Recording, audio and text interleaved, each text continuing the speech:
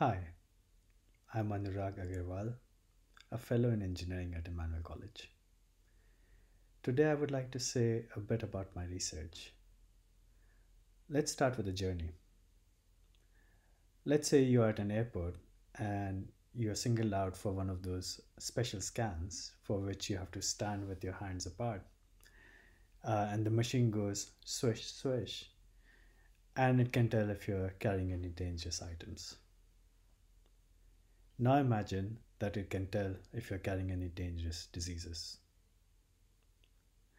Our research is motivated by that vision.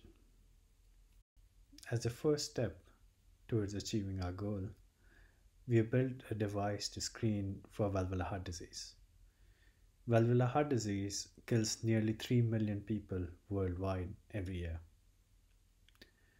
To put it into perspective, COVID 19 so far has killed 300,000 people this year.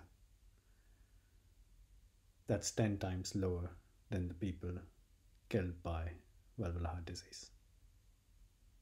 It has a huge burden. And it, the problem is that it's a silent killer. By the time you develop symptoms, the prognosis is worse than advanced stage cancer. Chances of death are 80% within two years. Early screening is the key to getting the right diagnosis and getting timely treatment to avoid untimely death. At the moment, the way you are screened is that you go to your GP for, let's say, a routine checkup, and they put a stethoscope like this one uh, to your heart and they listen for any unusual sounds. If they hear a murmur, uh, which is indicative of uh, valvular heart disease, then they refer you for an echocardiogram, uh, which is an ultrasound of the heart, uh, and then you can be picked up uh, for heart disease, valvular heart disease, and get the right treatment. The problem is that doctors are not very accurate at detecting uh, valvular heart disease. Uh, studies have shown that their accuracy is only about 60%.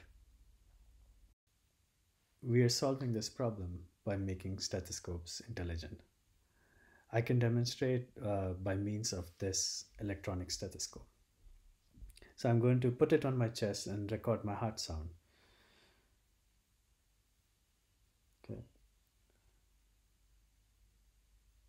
Now that I can hear my heart sound, I'll start recording it and then I'll beam it on this mobile phone.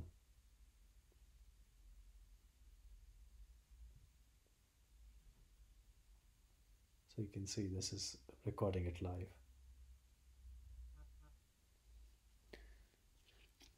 Okay, now that's finished recording, uh, I can show you a few features here. So you see these spikes here. These these are my lub dub sounds. So you can see lub dub, lub dub, lub dub, lub dub. Uh, and the weird bit that you see here at the end is this is when I was talking to you. Uh, the software can filter that out. So what this is saying is uh, that I've got no murmur uh, and its software is very confident that um, I've got no murmur. So it screened my heart um, and it says um, that I have a healthy heart. Uh, but in case it said that I didn't, then uh, I could be referred for an echocardiogram uh, and get the right diagnosis we can use this device uh, to reduce the heavy burden of valvular heart disease. This project would not be possible without Emmanuel College. Uh, the project started with my former PhD student Ed Kay, uh, who was a student at Emmanuel. I work very closely with uh, professors Steve Young and Mark Gales, also with Dr. Penny Watson, who is helping us uh, deploy this device in dogs. Uh, I'd also like to thank my current PhD student, um, Andrew McDonald, who wrote the software that I just showed you. Um, even though Andrew is not from Emmanuel College, he's, he's from Clare. A device would be particularly useful in developing countries like India. We are working very closely with uh, Dr. Girish Sabnis, uh, who's a cardiologist at KEM Hospital in Mumbai. Um, Girish was a Derek Brewer Fellow uh, at Emmanuel earlier this year. I also look forward to working with Dhruv Soni and his family, his sons Tarun and Nikhil. Uh, they're all alumni of Emmanuel College uh, and also our benefactors. So, our project has deep connections with Emmanuel College. We are also working on screening for lung diseases and novel blood pressure measurement devices. Uh, the dream really is uh, to achieve our vision that I shared with you earlier.